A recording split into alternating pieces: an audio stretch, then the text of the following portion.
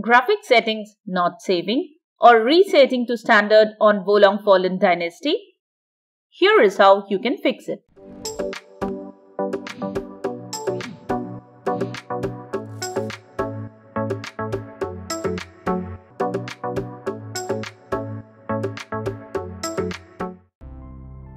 Before we move forward, do us a favor by subscribing to our channel and liking this video. It's free and helps us a lot. We do tons of research trying to find the working solutions for you. This way you can stay connected with us and get quick help with your future tech issues. Now, let's get started.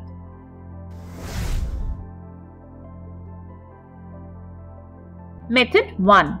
The first thing you can do is change the graphics settings from the config file. Open this PC and then open the Documents folder. Find the Koei Tecmo folder and open it. Open the Wo Long folder and here you will find the Save Data folder. Open the Save Data folder. The graphics option file is the config file of the game. Right click on it and select Open with and add click on Notepad. Now change the config type to custom. You can change any settings directly from the config file and save them.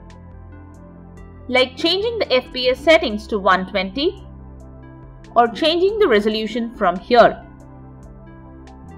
Once you have made the changes, click on File and select Save. Now close the window. Right-click on the file and select Properties. Check the Read Only box and click on Apply and OK. Now Steam won't be able to change the settings from the config file. Method 2. If changing the config file doesn't work, try verifying the integrity of the game files. Open Steam and click on Library. Right-click on the game and select Properties.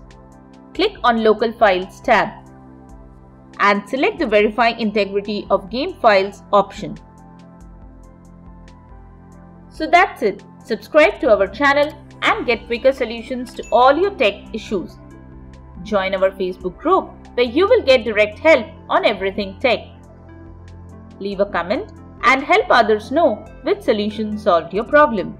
Thanks for watching and always remember that we are here to help you out.